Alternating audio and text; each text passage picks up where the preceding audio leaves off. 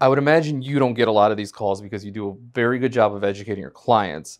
But I would imagine some insurance agents do get calls saying, oh my gosh, how is this not covered? What is something that typically is not covered where people just automatically assume they're going to file a claim and have it covered? So the exclusions, I think, are very simple, and there's nothing that's going to catch a homeowner off guard. Okay. Um, you have things that are excluded like war, nuclear explosion, flood insurance, Right. which is a key topic um, when purchasing a home. Um, because people assume that flood insurance is going to be part of their home insurance policy Right. package, and a standard home insurance policy is not going to include flood insurance.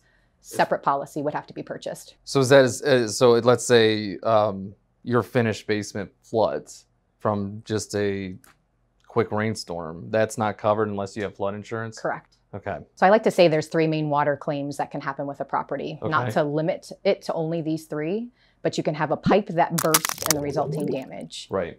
Typically, a standard home insurance policy is going to cover that sudden release of water and the Okay. damage that it's caused. It's not going to fix the pipe itself that has busted or ruptured because that's seen more as a home repair maintenance issue. Right.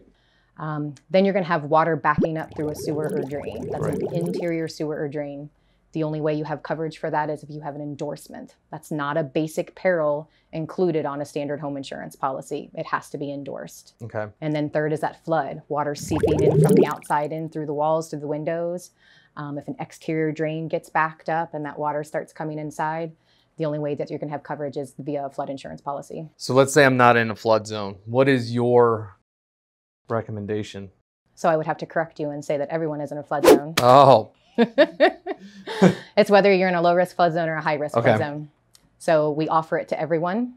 Um, of course, some lenders will require it if you're in a high risk flood zone. right. Um, but we present it to everyone and let them make that educated decision if they need it or not. Are you in a flood zone? Your house? I'm in a low risk flood zone. Do you have flood insurance? I do not. Okay.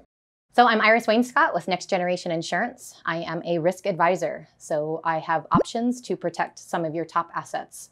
Um, building an insurance portfolio for things like your home, auto, life, business, commercial.